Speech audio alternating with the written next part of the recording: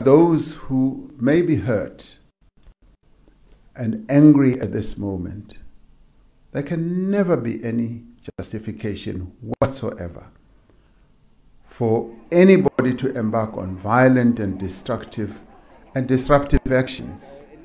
Property has been destroyed, cars have been stoned, people have been intimidated and threatened, and some have even been hurt.